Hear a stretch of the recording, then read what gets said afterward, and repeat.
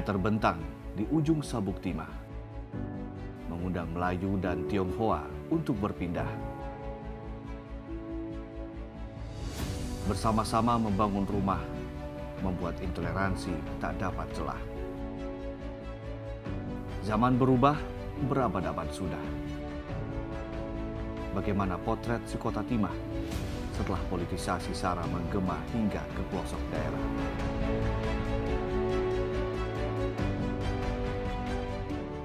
Sini bilang angin, angin tujuh jong.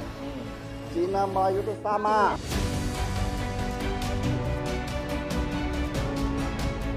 Seberapa mahal yang harga yang harus ditempuh ketika harus menjaga toleransi keseimbangan ini?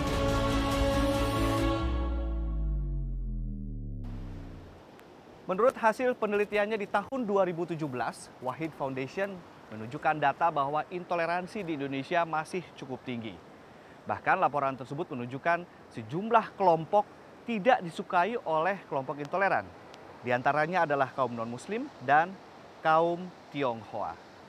57,1 persen responden menyatakan mereka tidak mau untuk bertetangga dan bersosialisasi bersama kaum-kaum yang mereka tidak sukai tersebut. Apakah hal tersebut juga berlaku di daerah? Saya ada di Kabupaten Bangka Barat, sebuah kabupaten yang dipimpin oleh kepala daerah berdarah Tionghoa. Ah, Iya. Gimana ini Pak? Ya. Nah, ini kita lagi di depan Masjid Jami dan Kelenteng Kumpuk Miau ya. Inilah bentuk kebersamaan dan toleransi yang ada di Bangka Barat yang sudah terjalin dengan baik selama ini. Oke. Tadi ini ini Jami, ini uh, Ini Kelenteng Kumpuk Miau ya. Kalau ini dibangun tahun berapa, Pak? Ini tahunnya 18 berapa gitu ya. Ah, Kalau Saya- berarti duluan ini apa du- duluan? duluan Kelenteng Kumpuk Miau. Duluan ini. Ya, mungkin selisihnya sekitar 60 tahun. Kalau orang Tionghoa sama Melayu seberapa lekat sih Pak kalau di Bangka Barat ini? Kalau di sini sudah sangat baik ya, terjalin dengan baik ya. Tidak ada perbedaan lagi ya. Kayak sekarang ini di Bangka Barat ini, Lebaran orang Tionghoa main ke tempat orang Melayu. Ya begitu juga sebaliknya. Kalau Imlek orang Melayu juga banyak main Gitu yang ya? Eh, orang Tionghoa. Ini sudah terjadi udah sekian lama. Kalau Bapak Tionghoa keturunan berapa Pak? Saya udah nggak tahu lagi lah, Eh. karena kakek nek kakek saya, nenek saya Papa Set udah lahir di Lahir di di sini. Bangka Barat ini. Jadi udah nggak tahu lagi. Nggak ya? tahu lagi. Karena emang jadi orang sini lah Ya, ya. tahu ya, lagi, Pak ya. Markus ya. Ya. Jadi seberapa mahal sih Pak? Seberapa biaya atau dalam tanda kutip seberapa mahal yang harga yang harus ditempuh ketika harus menjaga toleransi keseimbangan itu? Ya, pokoknya pada prinsipnya saya melihat warga Bangka Barat khususnya penemu mentok ini nggak perlu diajarin lagi. Nggak perlu diajarin ya, lagi. Mereka sangat toleransi lah. Ya, nggak perlu diajarin lagi. Karena dalam hati itu sudah tertanam. Tertanam. Wah hidup kita kan punya logo sejarah Stason. Ah, Ya. Artinya apa itu Pak? Sejarah Stason ini kita artinya apa? Setiap warga warga Bangka Barat mempunyai eh, kebersamaan, eh, kekeluargaan, ya bermusyawarah Hmm. dalam setiap eh, tindakan lah Hmm. ya untuk memajukan Jiran itu kan tetangga ya. Stason itu bermusyawarah. bermusyawarah. Ya. Jadi kita bertetangga, Ah. rukun, Hmm. saling bermufakat. Iya, saling mencari yang terbaik lah. Hmm. Ya, betul. Oke. Mayoritas mayoritas ini ya, Melayu Muslim ya. Berapa Melayu. persen? Berapa persen, Pak? Ya sekitar perbandingannya 85 15 lah kurang lebih. 85 Melayu, Ah, 15. 15-nya Ah, Tionghoa. Kurang lebih, kurang lebih seperti itu. menjaga keseimbangannya gimana, Pak? Pada Sulit prinsipnya saya selaku pimpinan daerah, saya jalankan aturan pemerintahan yang baik. Saya eh, kita saling toleransi ya, kita saling menghargai, nah, kita saling jaga kerukunan itulah kuncinya. tidak? Hmm. Contoh deh Pak, contoh kalau misalnya ada acara nih di masjid gitu ya. Terus Bapak kan nggak bisa datang kan biasanya. Itu gimana tuh Pak ngakalinnya? Supaya tetap kemudian Bapak seolah-olah hadir, menjaga toleransi juga, tapi juga menjalankan peran sebagai kepala daerah. Itu gimana Banyak Pak? acara-acara keagamaan yang saya hadiri ya, Hmm. yang diundang oleh masyarakat maupun yang diadakan oleh pemerintah kabupaten. Pada prinsipnya saya menghadiri, saya tidak masuk ke ritualnya. Ya, Katanya sempat ada yang juga melarang Bapak datang gitu. Itu gimana tuh Pak? ya Sudah banyak yang begitu atau memang Oh, hanya tidak, segelintir? tidak, tidak. Ya, itu hanya eh, segelintir orang aja ya, Hmm. tidak. Bahkan kita sudah berdiskusi dengan MUI ya. Hmm. Nah, kita kan melihat ya MUI juga Hmm. memberikan Hmm. eh, pendapat yang Hmm. terbaik untuk Pemkab Bangka Barat. Oh. Saya rasa itu bukan suatu permasalahan ya. Bukan masalah Ya. ya.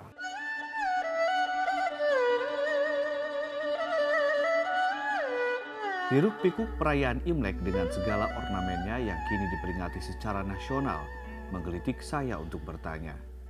Benarkah kini warga Tionghoa sudah punya hak yang sama dalam politik dan berkontribusi dalam pembangunan? Iya, Ya. betul. Wih, ini Ya. kopinya enak kayaknya. Ya, coba dulu. Kongji. Nggak apa-apa, nggak masa dulu. Kopi Oh, iya. petak 15. Ya. Kongsi paca ya, Bu ya. Cie nih. Kalau dilihat-lihat kan di Indonesia kalau tidak salah ya Pak Markus ya di Singkawang dan juga hanya Bangka Barat saja yang bupatinya Tionghoa. Nah Pak Markus kan politisi muda Tionghoa pula. Apa Pak Markus melihat punya masa depan di dunia politik apalagi kalau kita lihat kan kontestasi politik nasional kemarin sebegitu parahnya politik identitas gitu kan. Gimana nih? Kalau saya melihat ya eh, sebagai salah satu warga keturunan Tionghoa ya, eh, ini sangat cerah sekali kalau saya lihat perpolitikan kita. Ini terbukti kok banyak anggota dewan di Bangka Belitung ini o- keturunan Tionghoa ya. Bahkan saya bisa menjadi bupati ini kan karena dukungan juga dari masyarakat. Anggota dewan juga Ya, sebelumnya. menjadi anggota dewan. Intinya apa? Eh, antara masyarakat Melayu sama masyarakat Tionghoa di Bangka Barat ini sangat berbau sekali ya, sangat tenggang rasa, sangat toleransi ya. Orang di sini bilang Panin, Tongin, Tujijong. Hmm. Cina Melayu itu sama.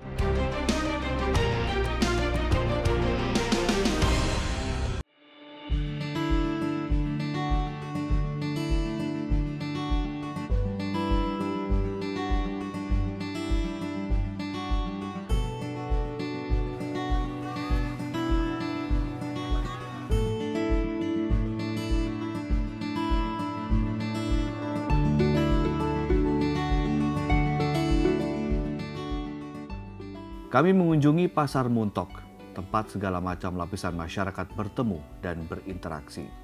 Bapak, namanya siapa Pak? Eh, nama saya Bambang. Bambang. Tapi kalau orang-orang Chinese, Ah. teman-teman Chinese ya, itu panggil saya Abeng. Abeng. Kalau istri saya sendiri juga eh, turunan Cina. Hmm. Nah, nah, orang di sini bilang dia punya marga atau siang ya. Hmm, Sini siang. bilang siang itu lo siangnya. Oh. Ya. Jadi di sini udah campur-campur ya Pak ya?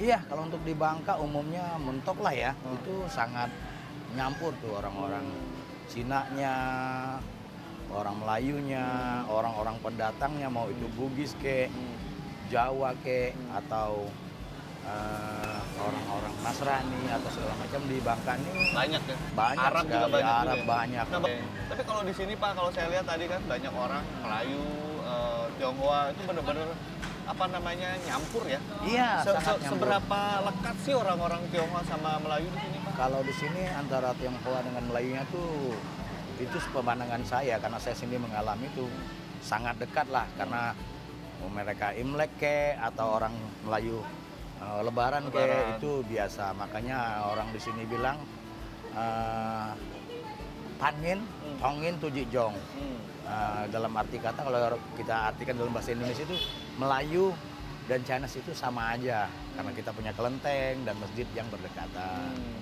Kalau yang buat kita perubahan sesuatu itu ya mungkin ada kepentingan-kepentingan sesuatu yang di luar Oh. kemampuan orang-orang biasa aja. Oke. Jadi kalau kalau ada mulai intoleransi segala macam itu bukan dari orang Bangkanya sendiri. Iya, eh, 90 sampai 95 persen itu nggak ada orang Bangkanya. Rata-rata ras, eh, bi- bicara masalah intoleransi terhadap sesuatu agama atau ras, Hmm.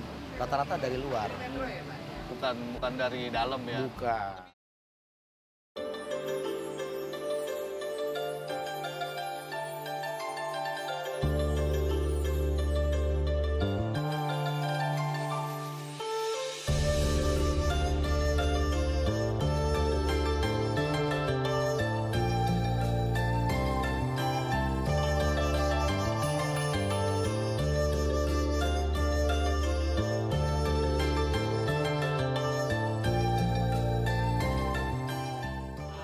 Pagi.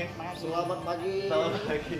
Lagi sibuk apa nih Pak? Oh nih lagi ini nih ngobrol-ngobrol sini nih. Ini lagi sibuk, lagi be- bersih-bersih ya kayaknya Pak. Ini sudah rencana besoknya. Hmm. Mulai rencana harinya besoknya mulai mau bersih-bersih. Hmm. Nah, bersih-bersih secara gotong royong dah gitu. Kalau bapak-bapak kan biasa bersih-bersih tugasnya kalau ini berarti dari kecil temenan kenal saling kenal dari kecil jangan-jangan Biasa apa ya? tetangga, tetangga. Sudah lahir. Tahun berapa lahir Pak? Saya saya ini sudah tua. Udah tua berapa? Dua. Wah. 72. Ibu Mifong berapa? 60. 60. Jadi udah saling kenal dari Wih, lama ya. Sudah. Kalau perbedaannya nih Pak dari zaman dulu sampai sekarang nih perayaan Imlek, kemudian kebebasan beribadah, eh, ibu bapak yang merayakan itu seperti apa? Mungkin Bu Bifong bisa cerita nih. Dulu sih kalau biasa kita leba eh, Sinja nih ya lumayan lah ramai gitu. Tapi makin ke depannya kan udah pada ada. Makin ber- sepi, Iya. makin sepi. Iya, makin itu udah itu. Kenapa? Itu perubahan perubahan zaman. Iya. Perubahan zaman. Tapi semenjak Bapak Gus Dur tuh ah, Hmm. jadi presiden jadi kita di Ramai libur lagi. ada ramai lagi. Tapi sekarang lagi sepi lagi. Ya sekarang Enggak, sekarang. dilihat situasi. Tergantung. Tergantung sekarang untuk situasi lah. Sekarang Hmm. lah mulai kelihatan ramai-ramai sekarang. Hmm, ramai-ramai lagi. Ramai, ramai lagi. Tapi kalau kalau lagi Imlek ini eh, saudara-saudara yang muslim pada datang ke rumah kalau itu Imlek. saling mengunjungi. Kira-kira ada berapa orang nanti, Bu, yang kadang yang kalau yang rumah? kenal lah yang kenal misalnya udah berteman sama kita yang udah kenal kadang kita ke tempat dia nanti Cincia dia ke tempat kita Oh, pas juga lagi lebaran ibu juga ke Ah, sana. iya, ke sana. Makanya masak-masak banyak. ya ya Harapannya ke depan seperti apa nih, Pak? Untuk kerukunan antara umat Tionghoa maupun juga yang Melayu. Ya kembali maksudnya minta supaya kembali seperti dulu. dulu. iya toleransinya kuat Ini akrab betul antara gini. Tapi Hmm. artinya kalau bahasa daerahnya Nih. Tongin Pangin itu jejong. Hmm. Cina Melayu itu sama. Sama. Sama. Nah, harusnya maunya kembali seperti dulu. dulu Kalau sekarang memang agak berkurang. sekarang agak agak ada sedikit itulah Sekarang pendatang kan banyak. Iya. Hmm. Dia tuh belum tahu tradisi kita Hmm. gimana, tapi agak inilah. Hmm. Jadi ya mudah-mudahan akan datang akan dikembali seperti ini. Oke. Kalau Ibu Mifung misalnya mewakili suara ibu-ibu nih, harapannya ke depannya seperti apa nih? Kalau Bapak tadi udah ngomong. ya sama kita maunya toleransi benar-benar toleransi jadi nggak ada perbedaan gitu jadi kita hidup juga damai kan senang juga Sekarang agak eh, masih damai Ya. kah? Dam damai lah. Hmm. Cuman kadang-kadang kalau eh, seperti waktu ke Ahok mau pilkada tuh kan Hmm. kacau. Tapi pengaruhnya juga sampai sini. Sampai kayak- sini. Iya, juga ada pengaruh kan. Ngo, jadi kita ngomong juga hati-hati gitu. Hmm, oke. Tapi eh, mudah-mudahan jangan lagi. Baik. Biar dapat pemimpin yang benar-benar toleransi juga. Jadi kita semua nggak ada yang beda ini Melayu ini Cina kan semua sama. Apa? Kuanying? Pan Yin Tong Yin sama aja. Nah, Jitjong. Jitjong. Jit, Jong. juga Bapak kan juga yang dituakan orang Melayu yang dituakan di sini gitu Pak ya. Tapi kemudian punya pemimpin yang juga ternyata Tionghoa. Itu gimana?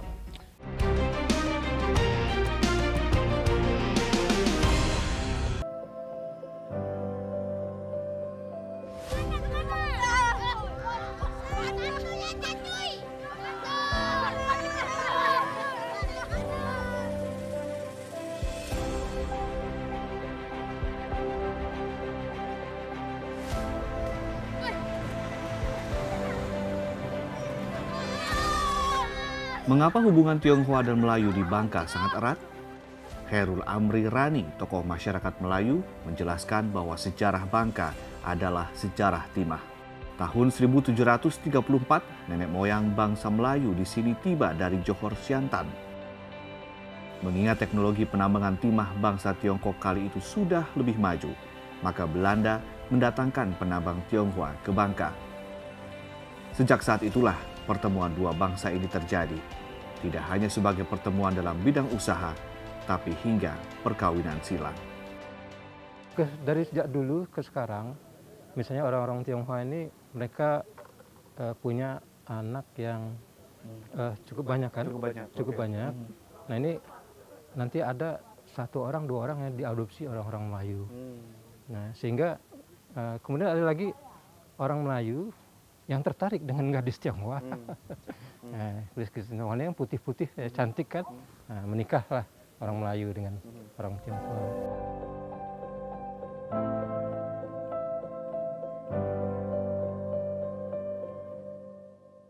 Itu kan tadi gambaran yang zaman dulu begitu ya, sejarah Pak ya. Kalau gambaran toleransi Tionghoa, Melayu, saat ini posisinya seperti apa? Eh, Iya, sejak eh, ini sejak kita mengenal eh, teknologi canggih, ya, mengenal HP ya, mengenal adanya WhatsApp, Instagram, Instagram. dan lain-lain ini memang kelihatannya ada sedikit ini ya terganggu. Karena apa? Kadang-kadang berita hoak disebarluaskan, seperti itu kan. sehingga menjadi ah, bertambah parah begitu kan. Ya bagi ba- orang yang gampang percaya dengan berita-berita seperti itu. Jawab Apa yang itu. terjadi di Jakarta kemarin sempat panas nah juga itu sini? ya betul kadang-kadang Sempat juga panas iya, di sini ya? jadi di sana terjadi ini ya di sini juga ikut-ikutan seperti itu kan tapi pada umumnya eh, apa yang terjadi di Jakarta tuh eh, ya di sini paling-paling sedikit lah Hmm. terganggunya begitu tidak tidak seperti di Jakarta begitu Artinya itu eh, wajar lah masih dalam. masih di dalam- batas batas batas batas kewajaran. kewajaran karena juga Bapak kan juga yang dituakan orang Melayu yang dituakan di Iya. sini gitu Pak ya. Tapi kemudian punya pemimpin yang juga ternyata Tionghoa. Iya, Itu gimana iya. Pak? Ya, bagi kami begini, eh, seorang pemimpin itu kan diangkat oleh banyak orang. Dia kan sudah terpilih, dipilih oleh. Berarti kalau dia sudah jadi pemimpin, dia kan berarti pilihan rakyat itu kan. Ya, kalau saya pribadi, ya siapa menjadi pemimpin, ayo kita dukung. Mana yang bagus, mana yang baik, kita dukung. Yang paling penting itu bagaimana meningkatkan kesejahteraan masyarakat. Itu yang paling penting.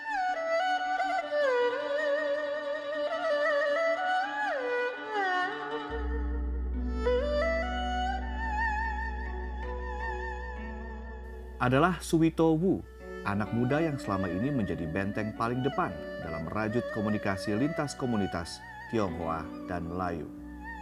Tugasnya tidaklah ringan.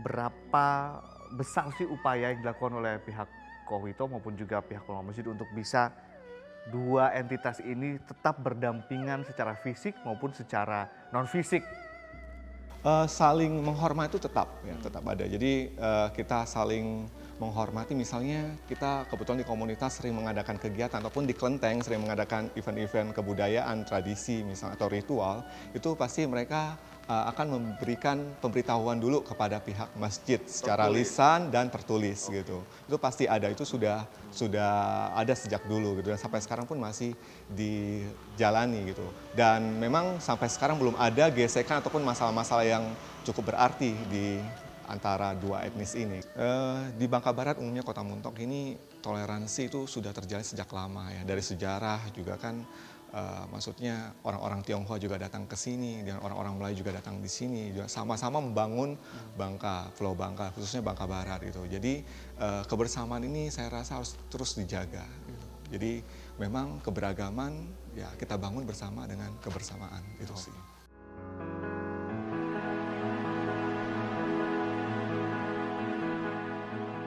Menyakiti etnis lain di Bangka Barat berarti menyakiti saudara sendiri, kerabat, orang tua angkat, bahkan mungkin pasangan mereka sendiri.